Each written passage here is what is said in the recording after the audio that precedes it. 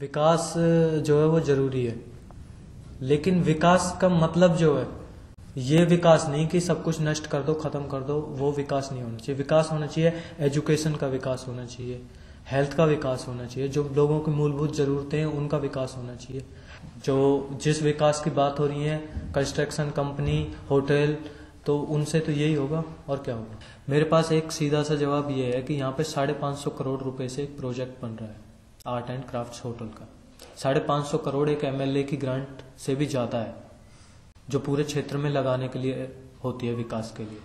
और यहाँ पे वो एक गाँव के अंदर लग रही है तो उसके हिसाब से रोज़गार, और रोज़गार का अगर वो देखें तो एक परसेंट भी नहीं है। उसमें हमारे गाँव के एक आदमी को काम मिला हुआ है, सिर्फ़ एक आदमी को। तो क्या मैं कैसे मान लू कि जो यहाँ पे कंस्ट्रक्शन होगा, उससे लोगों को रोज़गार मिलेंगे?